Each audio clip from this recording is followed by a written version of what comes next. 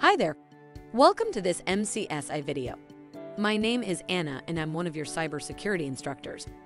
In this video, we will discuss the basic terminology regarding risk.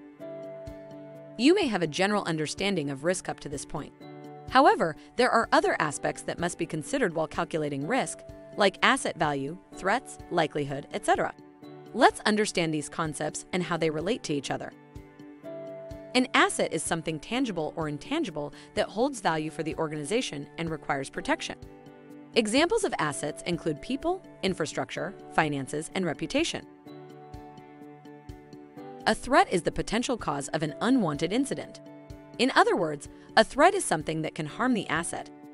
Some examples of threats include human errors, theft, malware, natural disasters, and much more.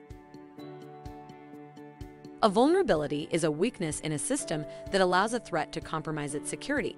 It can be a software, hardware, procedural, or human weakness that can be exploited.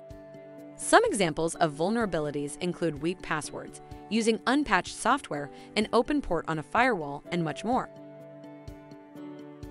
A risk is the likelihood of a threat exploiting a vulnerability and causing a corresponding business impact. Risk ties the vulnerability, threat, and likelihood of exploitation to the resulting business impact. The likelihood is the probability of the occurrence of threat. The impact is the magnitude of harm that can be expected to result if the risk materializes. An exposure is an instance of being exposed to losses. A vulnerability exposes an organization to possible damages. For example, if password policies are not properly enforced in a company, it can lead to users' passwords being compromised and used in an unauthorized manner.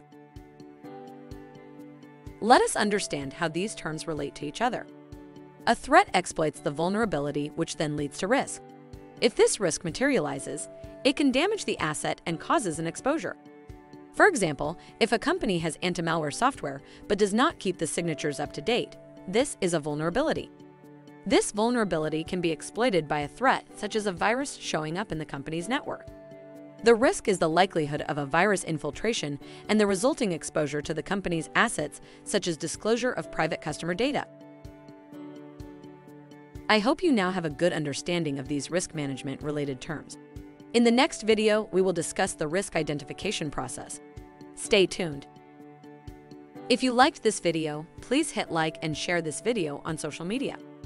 Don't forget to subscribe to our YouTube channel to receive more videos like this one.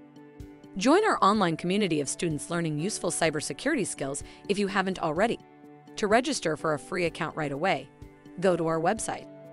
Happy learning and see you soon!